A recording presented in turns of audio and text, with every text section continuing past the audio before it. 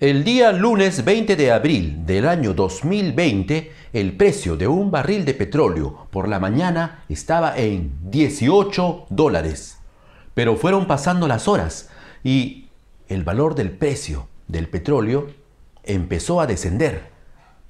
Luego de unas horas, el precio de un barril de petróleo era de 0 dólares. Sí, o sea, el petróleo no valía nada, era gratis. Pero esto recién empezaba. A medida que avanzaba el día, el precio del barril de petróleo disminuía más, mucho más, hasta alcanzar valores negativos. Esto significa que ni siquiera ya el petróleo era gratis, sino que los productores te pagaban con tal que tú te llevaras el petróleo y te lo llevaras a otro lado. Nunca antes en toda la historia el petróleo había estado a un precio tan bajo. ¿Y por qué bajó tanto el precio del petróleo? Prácticamente todos los países del mundo se encuentran en situación de cuarentena y de aislamiento social por la pandemia del coronavirus.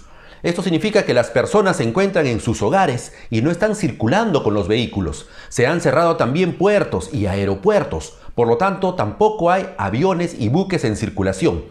Si no circulan los vehículos, los aviones y los buques, esto significa que se está consumiendo menos combustible y menos petróleo en todo el planeta. O sea que el petróleo no lo quieren ni regalado. Casi nadie compra petróleo, por ello, al descender la demanda, bajan los precios. Pero hay otro problema. Muchos países, antes de que empezara la pandemia del coronavirus, ya tenían mucho petróleo almacenado, y ese es el otro problema. Países como Estados Unidos tienen mucho petróleo almacenado y ya no tienen dónde colocar más petróleo. Es decir, sus almacenes están llenos de petróleo, ya no tienen dónde colocar más petróleo. Y por eso los países productores de petróleo te estarían pagando para que tú te llevaras el petróleo, porque para ellos ya no es un negocio el petróleo, ya no es negocio porque tenerlo almacenado resulta mucho más caro que el precio de venta final.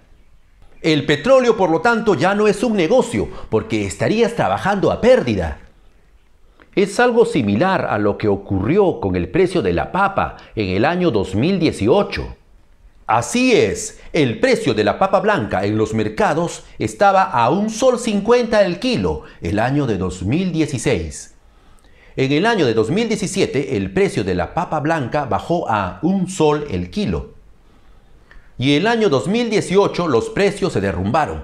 El precio de la papa blanca llegó a costar hasta 40 céntimos el kilo. Y a los agricultores no les querían pagar más de 20 céntimos por kilo por la papa puesta en chacra. Como resultado de ello, muchos agricultores ya ni siquiera se tomaban la molestia de cosechar la papa. Dejaban los campos de cultivo abandonados, porque les salía más caro cosechar la papa y no iban a ganar nada cuando luego iban a vender estos tubérculos a un precio muy bajo en los mercados. Algo similar está ocurriendo ahora con el petróleo. El mundo tiene más petróleo del que puede usar. ¿Y qué pasará ahora? Los precios del petróleo se recuperaron algo en los días que siguieron al 20 de abril, llegando a alcanzar el precio de 10 dólares el barril de petróleo. Sin embargo, estamos ante un precio muy bajo y los precios seguirán bajando si continúa la pandemia del coronavirus. La mayor parte de analistas económicos se encuentra pesimista y ellos opinan de que la economía no se recuperará. Por lo tanto, los precios del petróleo seguirán a la baja. Esto significa que muchos campos petroleros tienen que reducir su producción y en el peor de los casos, los campos de petróleo tendrán que cerrar sus puertas. Esto significará que muchas empresas del petróleo, sobre todo empresas norteamericanas, van a quebrar. ¿Y cómo se afectará la economía de América Latina con los precios bajos del petróleo? La crisis del petróleo afectará de manera diferente a los países. Los países que son exportadores de petróleo verán reducidas sus ganancias y los países que importan petróleo tendrán combustible barato, a muy bajo precio. El país más golpeado por esta crisis será Venezuela, cuya economía depende en gran medida de las exportaciones de petróleo. A esto se suman las sanciones que ha impuesto Estados Unidos a Venezuela.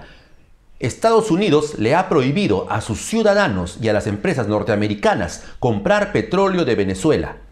Además, Donald Trump presiona para que otros países sigan el mismo ejemplo.